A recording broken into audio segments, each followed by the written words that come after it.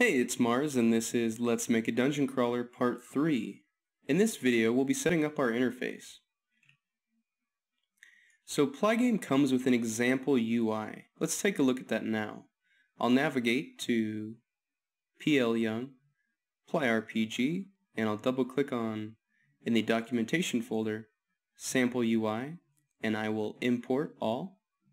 And this gives us our UI scene, which is in the GUI folder and scene folder. And I'll drag that scene into my scenes folder. And if I double click that, it takes us to our UI. I'll enable 2D mode and press F. And here is our canvas. Here is our example user interface. And uh, to start off, I'll go to the RPG UI game object. That's our canvas. And I will add a canvas scaler component and set it to scale with a screen size of 1920 by 1080 and then making sure my game window is set to 16 by 9. So let's go back to my level 1 scene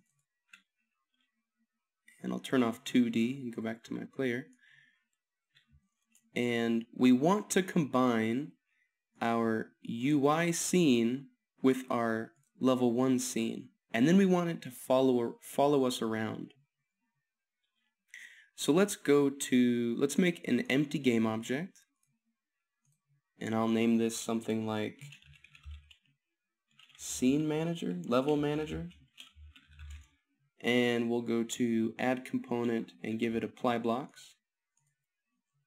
And we will say on start common, on start, and then in the GUI category, there's a load UI block. And using that, it will combine our RPG UI scene with the current scene that we're in. So here's the idea. Let's say we're in our level, our main menu scene, and we click on the New Game button. That would take us to town, or level 1 as we're in now. And the first time we enter town, we want it to load our UI. And that's what we're doing with this load UI plyBlox. However, if we were to leave town into the foggy forest scene and then enter town again, this plyBlox is going to give us a second user interface. So we, we, what we want to do is I'll click on this settings button here and this opens up my global variables and I want to create a global bool let's call it new game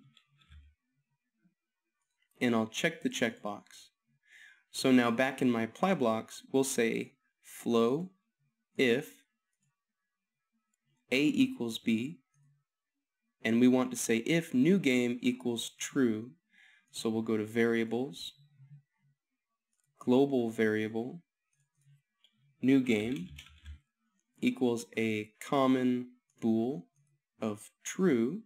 We want to load UI. And then we want to set new game to false.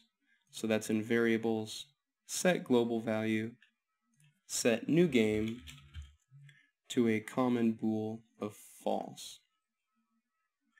So now when we leave town and then we enter town again for the second time, new game will already be false. We won't load a second UI.